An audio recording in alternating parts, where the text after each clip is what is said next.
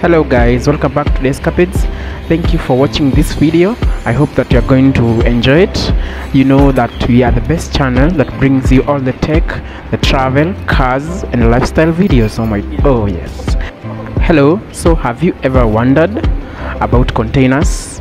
So in in kenya you can be able to get a 20 foot uh, 40 foot container and you can convert it to an airbnb or an office or a house. So today i got a chance to visit a yard a container yard where i was able to get into a 40 foot container that was being converted into an office and a cooling area.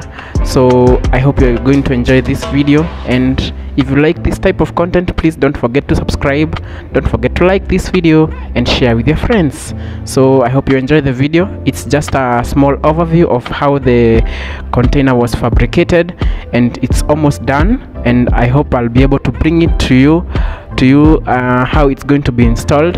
It's going to be installed somewhere in kenya so i hope you enjoy this video. Goodbye